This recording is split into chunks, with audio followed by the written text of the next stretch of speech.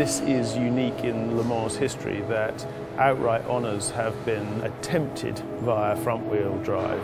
Traditionally, race cars became rear-engine, rear-wheel drive for benefits of traction and packaging. We think that the putting the engine in the front of the car and driving the front wheels gives us an advantage.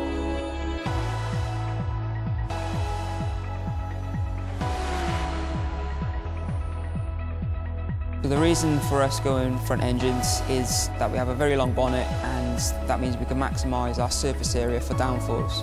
Try to get as much downforce on the car as possible to make us go faster through the corners, but also you need a streamlined car so you're very efficient in a straight line.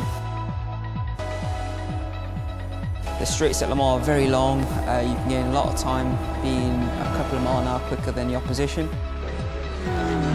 You have extremely high speed and then you have to slow the car right down for the turns. This isn't the first time Nissan have produced a front-wheel drive racing car.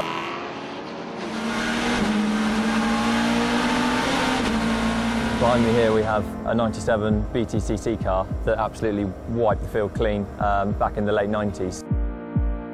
The engineers that worked on this, these guys are now on the P1 car. The main difference is with the front wheel drive is the feeling of the car in the slow speed corner. It just wants to push, push the car to the outside of the track so you do get understeer in the car.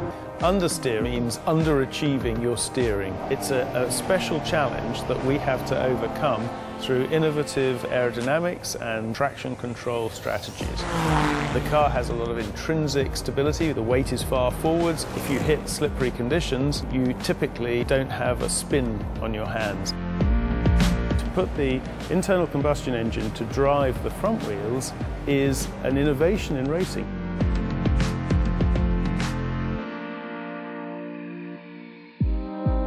Of course, it's incredibly uh, common and normal, in fact, in road cars.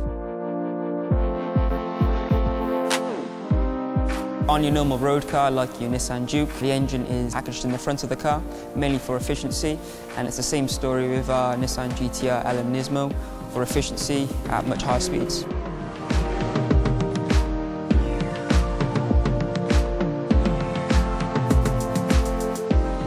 Efficiency is a big part of the race at Le Mans.